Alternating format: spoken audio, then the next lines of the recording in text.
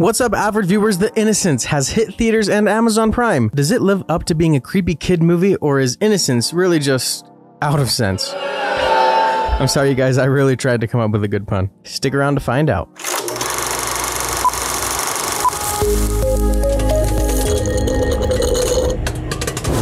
The Innocents, which is actually called De uskyldige, is a drama fantasy horror film, and yes, it's a foreign film, Norwegian. You hate foreign films? You hate reading subtitles? You don't think it's worth watching because foreigners can't make movies as good as we can?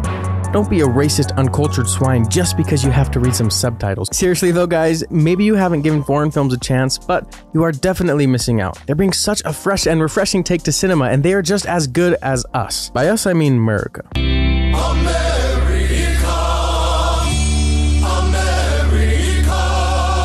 The characters just don't speak the mother tongue, and you'll get over it in three minutes. Now that I'm off my soapbox, let's talk about who was involved in making this film, and then a brief content warning. If you want to skip straight to the review, jump to this time in the video. This movie stars Rakel Fl- Otum, Alva Ramstad, Sam Ashraf, and Mina Asheim. Unfortunately, they don't have pictures up on IMDb, probably because y'all are a bunch of racists who won't go see this movie, and so they're not famous enough for pictures yet. It's directed and written by Eskil Vogt, who is most known for writing The Worst Person in the World, a movie about Amber Heard that did pretty well in award seasons last year. On to our content warning.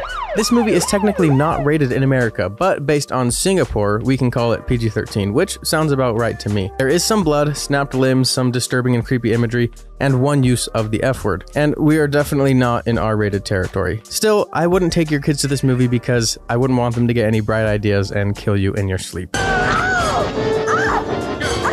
The Innocents is one of my favorite movies I've seen this year, and probably my favorite horror movie of all time. Granted, this movie is pretty mild when it comes to horror. It's not demonic, it's not terrifying, there's no jump scares, it's simply unsettling.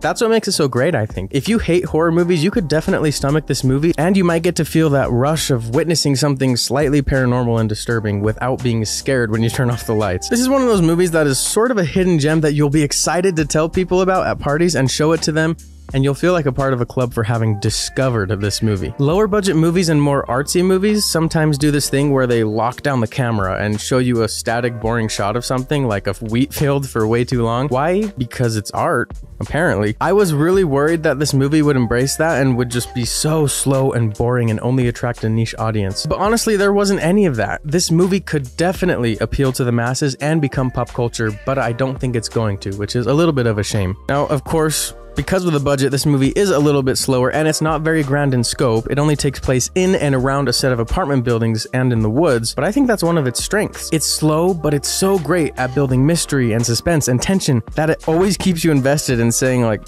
what the fetch is happening? Stop trying to make fetch happen. It does a great job of setting up this world of children where it seems like they know something we don't. Ida has a sister with autism and she does these sort of things to hurt her, and it's kind of unsettling until you realize she's doing it out of curiosity because she's really fascinated with her sister. She believes she can't feel pain because she never cries or reacts. Then they meet a new friend, and she sort of has this telepathic connection with Anna, the girl with autism, and she can feel her pain and give her a voice. Then they meet a boy named Ben who has telekinesis and can make people do things. So they all kind of hang out at the beginning and learn about their powers, and it gives off a total Chronicle vibes. I don't know if you've seen Chronicle, but it's about teenagers who get telekinesis and sort of get out of hand with their powers. It's awesome. You should see it. This movie, on the other hand, is different because it's also making commentary on a child's world and how separate it is from reality and how we interpret their ignorance as innocence but they're honestly pretty capable of doing some horrendous things. I think we will all relate to this movie in a strange way because maybe we all remember doing something horrifying like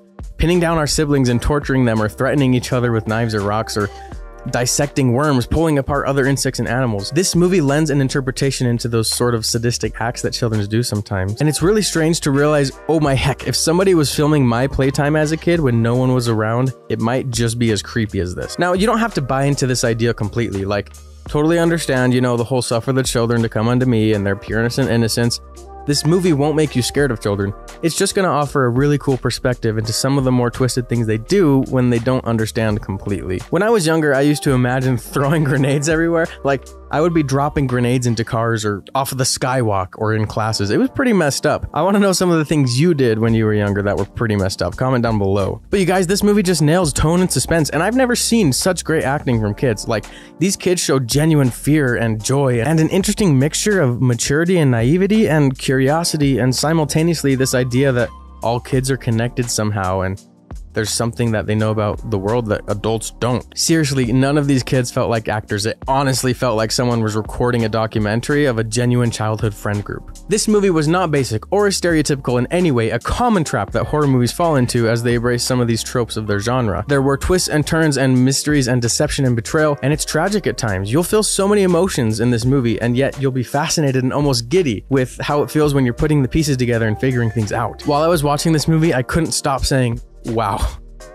Wow. I love this. My favorite part, I thought it was so creative, is when Ben gets people to do things, they act sort of zombie like, but then you get to see inside their heads and it's like a nightmare and they're terrified. It was so brilliant because they could have simply just stopped there and been like, nah, he controls people's minds but instead they showed us what it's like when somebody's inside your mind taking over. It was so cool. If you typically don't like horror movies, I think you should give this one a shot. I wouldn't even classify it as horror. It's more like a quiet place in terms of fear level. If you haven't given foreign movies a chance before, please do it on this one. I promise you won't regret it. That's why I'm giving The Innocents a buy it on Amazon now. This movie will be so fun to throw on at a party with your friends and watch them go through what you went through the first time watching, and then you get to brag about how you found it. All right, you guys, let me know what you think in the comments down below.